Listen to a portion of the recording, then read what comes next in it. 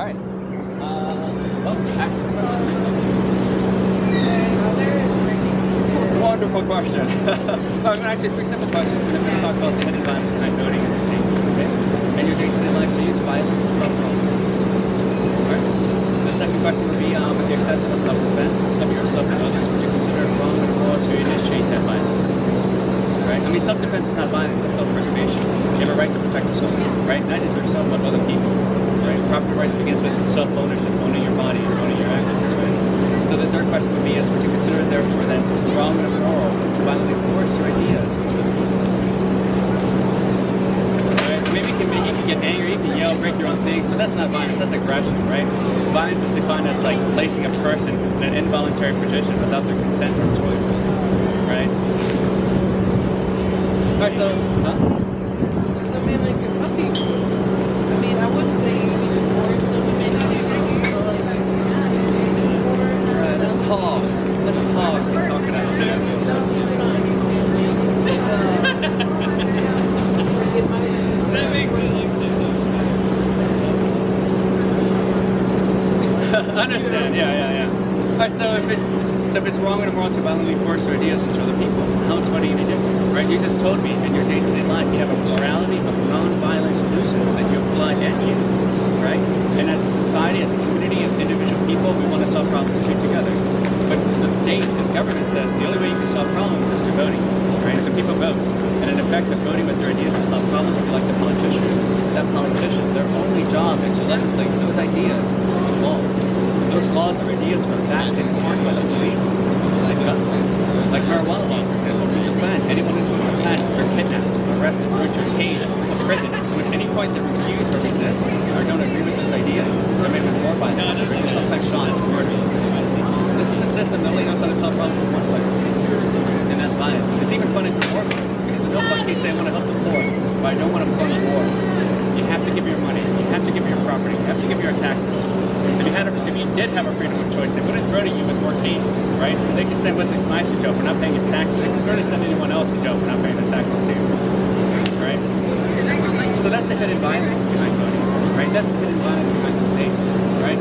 And it's really just to, to see that, to recognize that, and let's continue to do what we do in our day-to-day lives, right? We do not use violence. We have that moral integrity to not use violence. But we've been tricked, we've been misled to believe that that's the only way to solve problems. But it's not. But this is not just about state violence, though, right? This is about the violence we do to each other, too. This is about the violence we do to children, right? Including spanking. Italy teaches children that violence is a way to solve problems. Yeah, see, yeah, that's where I'm just like, well, there's like certain things, I mean, like, yeah, yeah, I understand, like, at the same time, not all, it's like, everything's like, not like, it's more of a,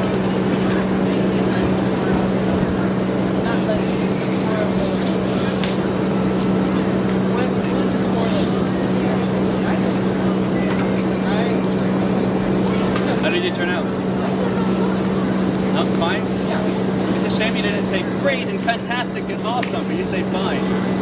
Well, a lot of people say that. I'm a spank too, right? And I had my mother and my sister stuff like that. I kind of raised my sister too, and then eventually I realized that they're kind of mimicking the same behavior, right? They're pretty much sponges. They mimic our behaviors, right? Uh, they're imitators. They're great imitators of life and imitators. So if they're doing something wrong, it's really up to us to teach them all this sort of stuff. Hey, don't touch the stone. Show them all different kinds of ways. Why not to cross the street, you know? It's our responsibility to teach them why. Not because I said so, right? That they don't learn why, right? But, so a lot of this stuff is really about just like um, talking to people, right? Even talking to children, right? And you can't have exceptions because exceptions lead to more exceptions, right? Violence begets more violence. We have to have that more integrity. that is true. But it's just something to consider. I'm, all, I'm not here to convince you or anything like that. I'm just here just to talk about it, have a discussion. Just to talk about it. I'll be here pretty much every day throughout the rest Yeah, of the semester. I saw you around here like all the Yeah, but check this out, liberaterva.com. It's a freedom movement against the idea that violence will set us free.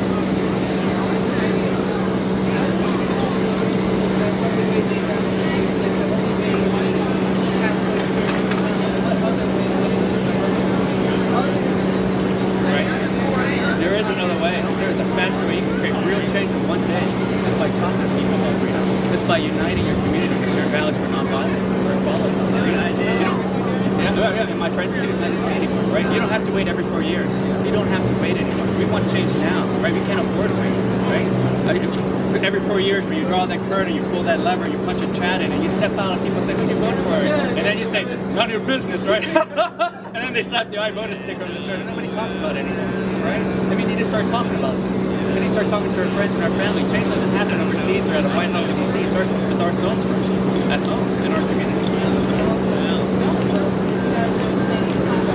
No, no, well, you never really do have a say. You know the votes are bought for. You know the politics are bought for. They always say the lesser two evils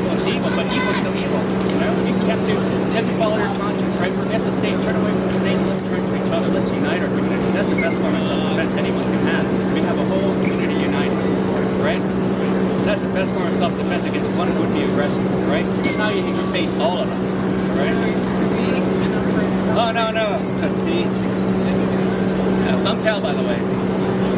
Pleasure, pleasure. Uh, but I'll be here every day. If you have more questions, like um, I'll be here again. Probably uh, I gotta leave this weekend, but I'll definitely be here on uh, Tuesday. But, uh, but, yeah, check us out, liberaterva.com. Take care. Oh. We're gonna have a freedom gathering uh, next month, the 29th. We've been doing this monthly, and it's been getting bigger and bigger. Pretty much like uh, philosophical discussions, and sort of stuff. I mean, that's kind of what we need, right? Philosophical revolution, cultural revolution, a non-violent revolution. Yeah, yeah, yeah, yeah, yeah. But I understand what Yeah. you're you're trying to make like these really separate abroad, just like it's like all the those sounds like No, no, no, no, no. Right. But that's what we need. Let's, let's unite these and let's push them forward, right?